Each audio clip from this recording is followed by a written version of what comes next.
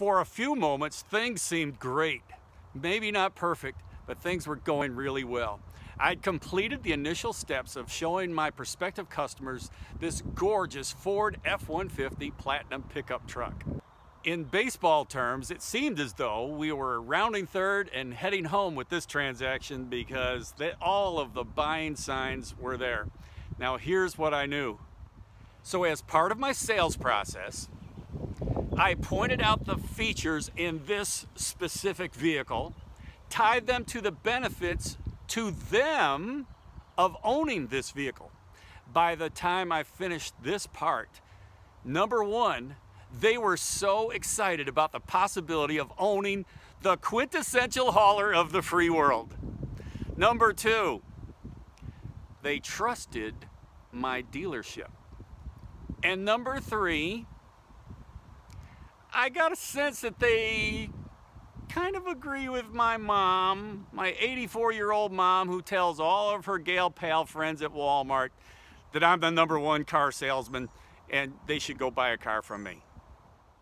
So we sat down and I began to work through the sales menu with them. And that's when it happened. Ba-bam! Objection. During my long career, I've sold everything from real estate to forestry equipment, from right-of-way services to timeshare, from handmade furniture to cars. Yes, to cars. And all in all, I've sold a little over $21 million worth of products and services. And here's what I can tell you without a doubt. On each of the several hundred transactions that I've been involved in over my career, not once did I ever go from beginning to end without encountering an objection from the customer. It's going to happen every single time. So the question is, are you good at guiding your customers through objections? Today, we're going to take a look at five steps to handling objections. These are proven. And I've got a really unique and exciting way to learn these steps. In fact, this method of learning is over 2,500 years old, and I'm going to teach it in a way that it's never been taught before.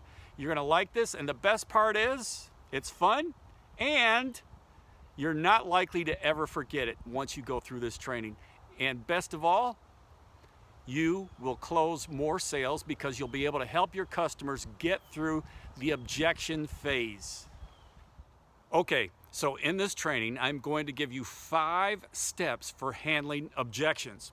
Also in this training, you are going to get six word tracks that correspond with the six most common objections that you get when you sell cars. All right? So, what I'm going to do here, first of all, is I'm going to give you five words that will help you remember the five steps. So, the first word or the first phrase that I want you to remember is gold medal. All right, gold medal. Just imagine a gold medal in your mind. Number two, imagine a two ton car lift. Two ton car lift. You know, just like the kind you see right there in your service bay area, right? For lifting cars up and uh, doing uh, work on them. All right, number three is question marks. A lot of question marks, all right? Number four is imagine two school children sitting at a desk with their hands raised, all right? Two school children with their hands raised. Number five is two thumbs up, all right? We see that a lot for movies. Two thumbs up was a great movie. All right, so do you remember the five things now? Number one, gold medal. Number two, car lift. Number three, question marks. Number four, two students sitting there with their hands raised. And number five, two thumbs up.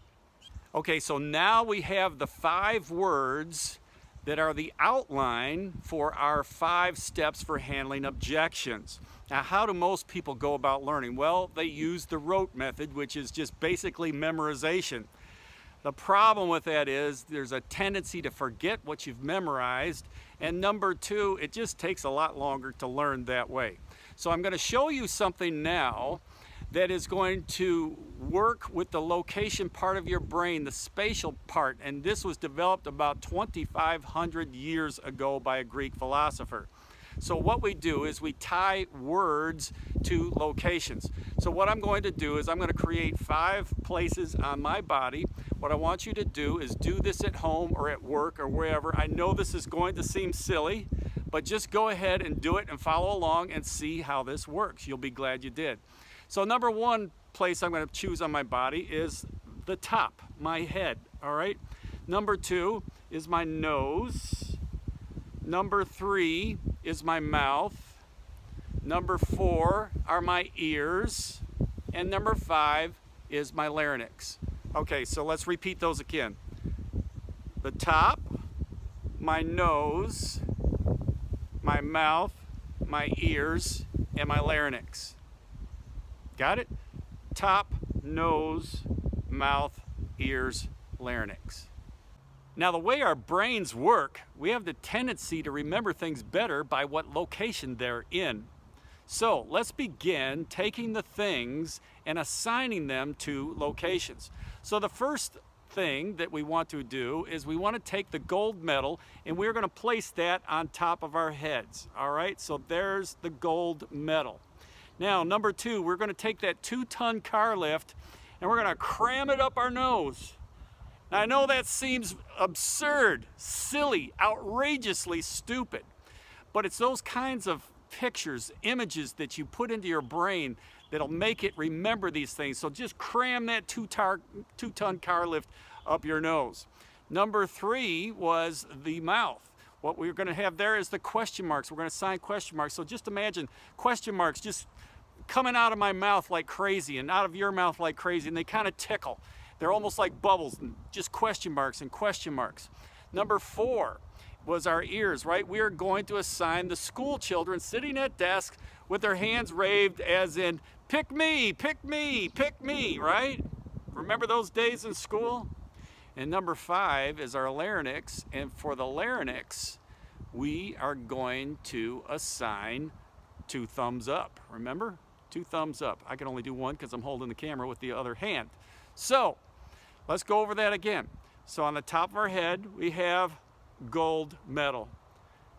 The nose, oh, that's easy. Cram a two ton car lift up your nose. Number three was our mouth. We have question marks coming out. Number four was our ears. School children, side of our, on both sides of our ears, at, sitting at desk with their hands raised. Pick me, pick me. And number five, two thumbs up at our larynx. So let's see if you can do this on your own. Number one, top. What did you choose? Number two was the nose. Number three, your mouth. Number four, your ears. And number five, your larynx. Good job. So let's see if you can do this backwards. All right, so the larynx. What do we have at the larynx? Two thumbs up. The ears, school children, the mouth, question marks, the nose, two ton car lift going up our nose, and the top of our head, gold medal. Great, you know this forwards and backwards. See how easy this is going? And you're beginning to wonder, what has this got to do with handling objections? We're going to get to that. So the best way to learn things like this is not verbatim. It's to use imagery and associations. That's the way the mind works the best and how you can remember things better. And this is going to really play in later on. You think about it as you're looking at your customer across the table. You can look at the top of their head and immediately remember gold medal.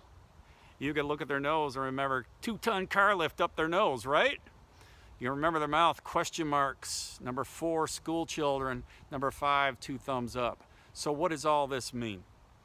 Here we go. Number one, the gold medal. Who do, who do we give gold medals to? Those people that we want to acknowledge. This is the first A, this is the first word, acknowledge. So that when a customer comes at you with an objection, don't blow it off, don't start arguing with them, acknowledge their concern, acknowledge their objection. People want to feel understood, they want to feel like they've been heard. So the first part, the first element, the first step in handling an objection is to acknowledge. Acknowledge, we acknowledge people by giving them gold medals. You want to give your customer gold medal service. Acknowledge their complaint, their objection, their concern. Number two, we had the two ton car lift going up the nose. Well, what is a car lift used for? Well, the car lift is used for front end alignments, you guys. And the car industry should have gotten that right away, right? It's for front end alignment or align. So the first step in handling an objection is acknowledge. The step two is align. So what this does is it puts us on the same side with the customer. I'm not necessarily saying you have to agree with what the customer says because contrary to popular opinion, the customer is not always right. All right? There I said it. Some of you aren't, aren't going to like that. But here's how I feel about it. The customer is always served. We do this by aligning ourselves. So we put ourselves in a similar situation. We say we understand. That makes sense. I would feel concerned about that. I feel concerned about that when I go to buy a car too. All right, you see the difference there rather than backing up and trying to be defensive or trying to argue with our customers. We acknowledge, then we align. So front end alignment, gold medal, we got acknowledge, we got align. All right. Number three, question marks coming out of the mouth. When you think of a question mark, what do you associate with a question mark? Ask. So the third A in five steps of handling an objection is ask a question. So we acknowledge, we align, and then we ask them a question. So the question might be something like this Other than the payment, do you have any other concerns? Do you see how it isolated? So now they'll say, well, no, it's just the monthly payment. Everything else seems fine. Or they may say, well, yeah, the down payment, the interest rate, the overall price of the car, the color, everything. They might throw a whole bunch of, of objections on the pile at that point, but you'll never know that unless you ask. So acknowledge, gold medal, align, alignment rack. Number three is question mark, ask. And okay, so the fourth A is, you ready? We got the ear, we got two school children on each side. They raised their hands saying, pick me, pick me. What do they want to provide? The answer. So we acknowledged our customer, we, we aligned ourselves with them, we asked a question, and now we give them an answer. So in this answer, the first thing we want to do is we want to restate their objection to us in our own words back to them. Now there's three things that this is going to do. Number one is it's going to show that you were paying attention, you were listening carefully you are going to gain their trust. You are going to gain their respect when it shows that you were actually listening. It shows that you care. Now, number two, you are going to gain agreement with them because at the end of the restatement, you say, Is this what you were saying? They're going to say, Yes, that's exactly what I was saying, or No, and they're going to clarify. So, either way is good because we're moving forward and we're moving forward without any confusion. And number three is it shows that you're confident. People want to buy things from people that are confident. Do not confuse cocky with confident. People don't like to do business with cocky people. Confident in that you know your product and that you know where you're leading them. Do you want to follow somebody that doesn't know where they're going? No neither does your customer. So know how to guide them through the journey with these five steps. So let's repeat them. What does the gold medal stand for? Acknowledge. The alignment rack, uh, duh, align, right? Number three was the question mark, ask. Number four, answer. So when you're giving the answer, just refer to the six word tracks that I've provided in this training and you'll have all kinds of answers. Okay, so we've got one left. It's the larynx. And we put what in front of the larynx? Two thumbs up. Now what do two thumbs up mean? I agree. So that is the fifth word. Acknowledge, align, ask, answer, agree. So all you have to simply do at the end of, of your answer is just to say which payment option works best for you. And when they choose, bingo, you just made a sale. And that's how you get through the objection process. Six word tracks, you can download them on this page. Just click the button below this video. You can start working on them and you'll always remember now, acknowledge, align, ask, answer, agree. Are we in agreement? Okay, so let's go sell more cars, right? Now, would you do me a huge favor? Would you go down below and comment? Tell me how much this training meant to you, how much you like it, all right? And also, make sure you click on the button, download the six word tracks that you can begin using immediately. And drop me an email. My email, my contact number is on this page as well, and I'd love to hear from you. And be on the lookout. We're going to be sending out some more trainings over the next few weeks. One of the trainings I'm really excited about is four ways to sell a car via the phone without making a call. We're going to use modern technology and you're going to love it. It's free. You can use it and I used it a lot when I was working for the dealership I came from before I started with CF Search Marketing and I sold lots of cars. I got lots of people to come into the showroom without ever having talked to them on the phone first. It's amazing. You're going to love this training.